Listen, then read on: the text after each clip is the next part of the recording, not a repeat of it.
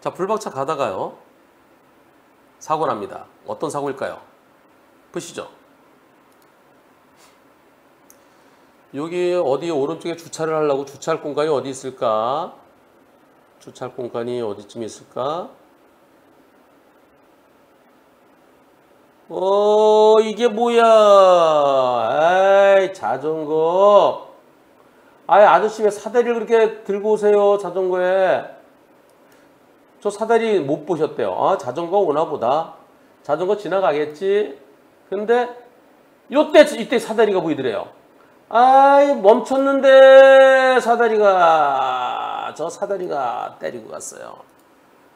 누가 더 잘못했습니까? 요 사다리 보일까요? 안 보일까요? 자, 여러분들. 불박차가 더 잘못했습니까? 자전거가 더 잘못했습니까? 투표 시작. 지금 투표 진행되고 있는데요. 여러분들 운전자 보험 다들 가입하고 계신가요? 자동차 종합보험 다 가입하고 계시죠? 이건 민사입니다.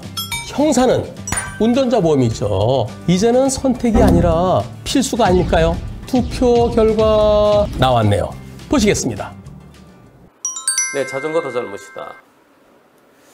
그런데 보험사에서는 불박차가 더 잘못이라고 그러는데요. 왜 못 봤냐고. 근데 저게 보이나요?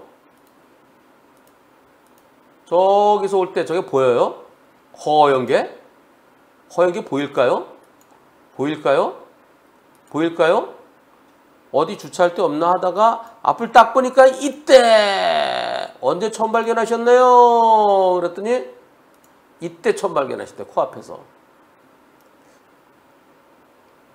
지금 이만큼 한 1m 정도는 나온 것 같죠? 예. 자전거의 100% 잘못이냐?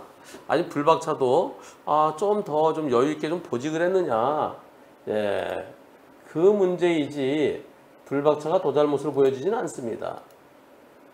길이 좁네요. 길이 좁아서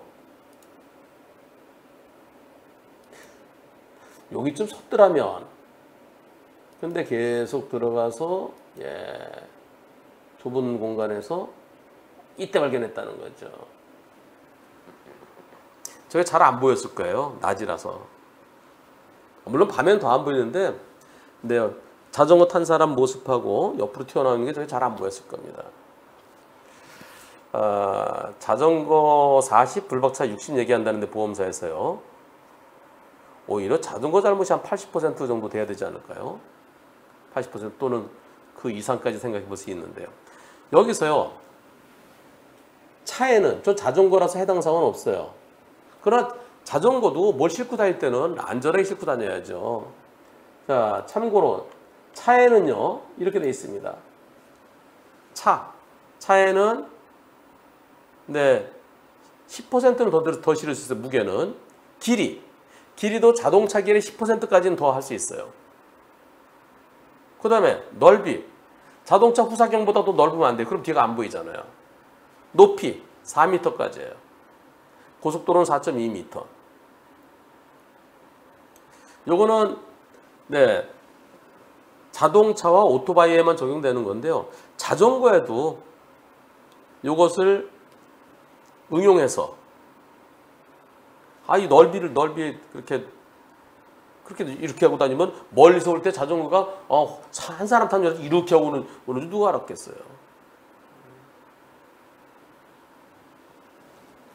그래서 아, 불박차 보험사는 불박차 60%라고 얘기한답니다.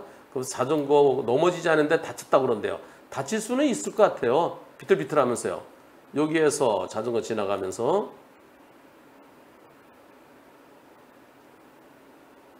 이렇게 부딪히면 어 몸이 일이 되겠죠. 다칠 수는 있을 것 같아요. 그러나 불박차가 더 잘못이어서는 아니 되겠다는 의견입니다.